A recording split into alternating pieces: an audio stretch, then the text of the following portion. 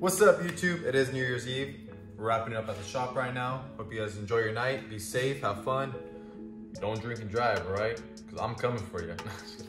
but yeah, so we're wrapping up at the shop. Um, I do have a tutorial coming out. It is wasn't intended to be a tutorial. It was an Instagram video that I made on how I cut my own hair. Uh, it's a crop top. I did used to I used to have long, uh, flowy hair, but then I decided to chop it off because I was just over it. My hair, I've always ne I've never had a really dominant hairline, so I wanted to change up, do something different. And I remember my teacher telling me, you know, that the crop top is coming in style. It started like the European side, now it's slowly making its way over here. You can tell a lot of people are starting to get the crop. So, you know, I decided, you know, why not make a video cropping my own hair? So I ended up having a lot of more footage than I thought. A lot of people ask me, you know, how do you cut your hair? Can we see a more in-depth video? So this next tutorial is on that, over, you know, how I achieved that look and what I did, how I cut it, why I cut it a certain way, get some value from it, learn something new, some scissor work. I am still working on my scissor work, you know, really work, focus on, you know, tension and, you know, sectioning, making sure you have a clean line. So you guys have a good, happy New Year's. Uh, be safe, and let's get on to the tutorial. Oh, also, go ahead and drop likes and below saying happy birthday to my girlfriend because she is born on January 1st. Well, not really, she's born November 17th, but she wasn't born here. She moved over here, so she has a full birthday, so she has like two birthdays. But yeah, so drop some, you know, happy birthdays for her, right? Let's get into the tutorial. Up, guys? Today's tutorial is on myself and how I crop my hair, so we're gonna go over how I achieved this style. First, you know, going ahead and wetting my hair, getting it ready for, you know, the sectioning so I have nice clean sections.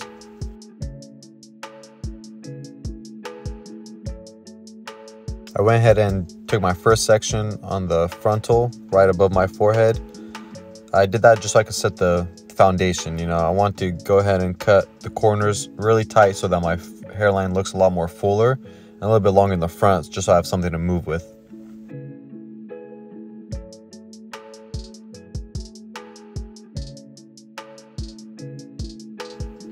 After that, you want to go ahead and comb the hair back down, make sure it's all even, you got all the hairs. Right here, I'm just kind of point cutting just so it's not too bulky.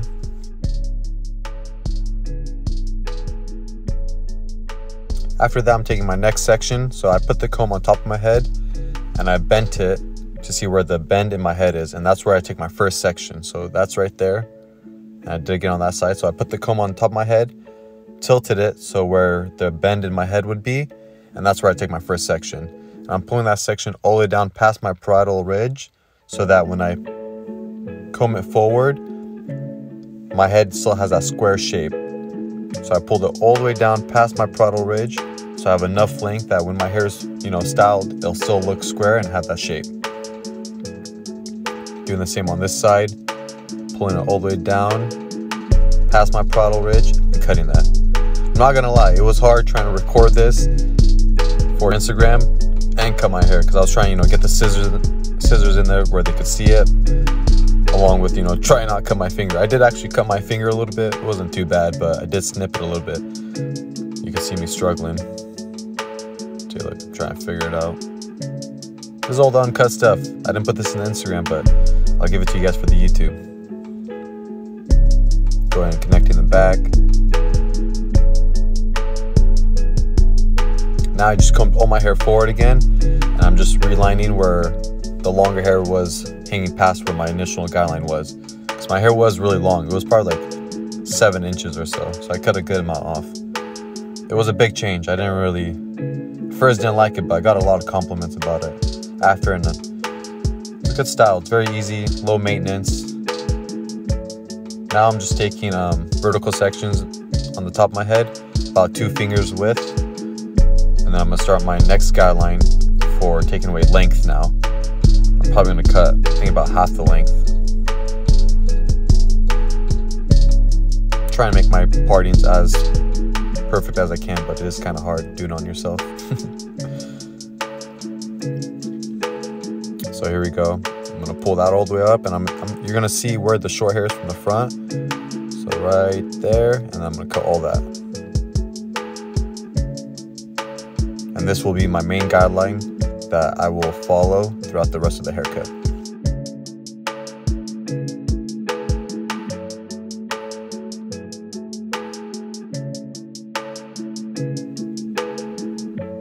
Taking that on the back and cutting more just so it's all even. And I'm taking horizontal sections and I'm gonna connect that to the side. So here I'm pulling that up, see where the short hair is, and then I'm gonna call that long hair right there. Same on the other side.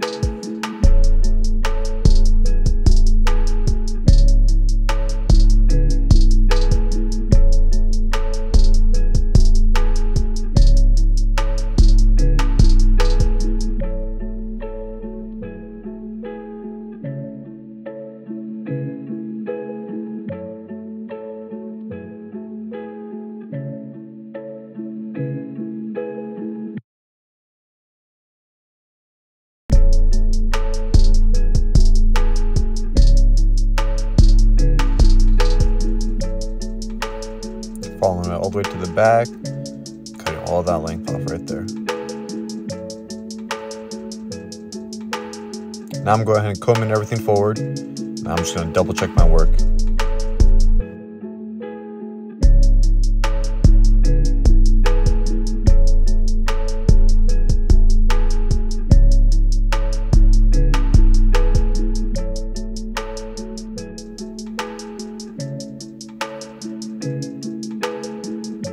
Finished cutting the top. Now it's time to style. I am using Strand uh, sea salt spray. Throw a few pumps in there and then go ahead and blow dry it.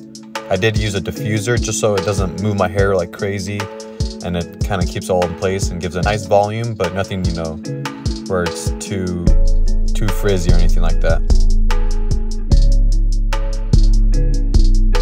I went and just lined up my beard while I'm here just so the cut looks clean. I've been liking this cut, you know, um, keeping everything kind of dark and having just a nice edge up. But, you know, no tapers, no fade or anything, just, you know, kind of short around the taper area into the beard and then just having a nice line. Kind of like that Drake look, but, you know, without the whole fade. I like everything connecting. Know, I've been digging it lately.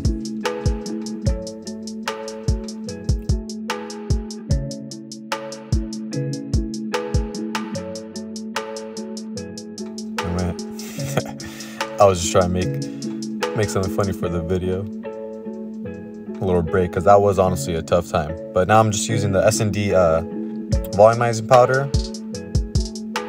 I realized I was using this product wrong. You're supposed to be tapping the top to get the product out a lot easier, but just picking it up, putting it inside my roots, just so it gets to the very bottom, so that it will give you that volume look. I'm just going and tapping that all in much the finished look.